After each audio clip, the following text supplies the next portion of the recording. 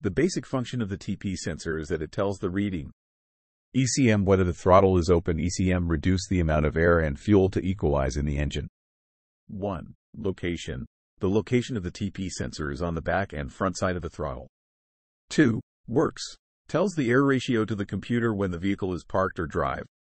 Throttle position sensors work by measuring the angle of the throttle plate or lever and transmitting this data to the ECU. There are two main types of TPS, potentiometer-based and Hall effect-based.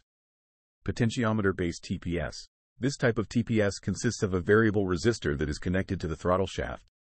As the throttle is opened, the resistance across the potentiometer changes, which provides a voltage signal to the ECU.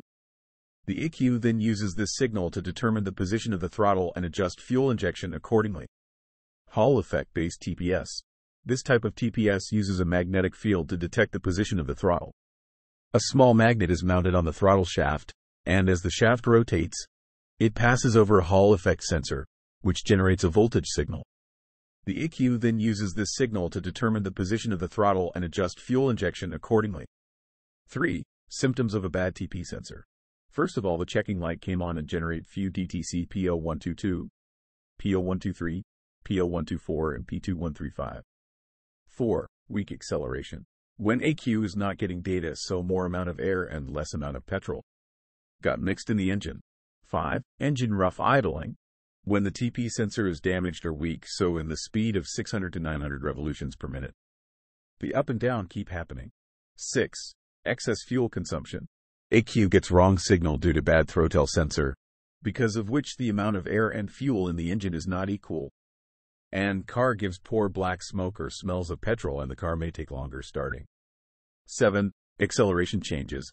Sometimes the car doesn't take the whole race and sometimes car would race herself unnecessary. 8. Common problems with throttle position sensors. There are several issues that can arise with throttle position sensors, including erratic idle. If the TPS is faulty, the engine may idle erratically or even stall. Hesitation during acceleration. A faulty TPS can cause hesitation or jerk during acceleration. Poor fuel economy. Incorrect signals from the TPS can lead to poor fuel economy due to improper fuel injection. Check engine light. A malfunctioning TPS can trigger the check engine light to come on.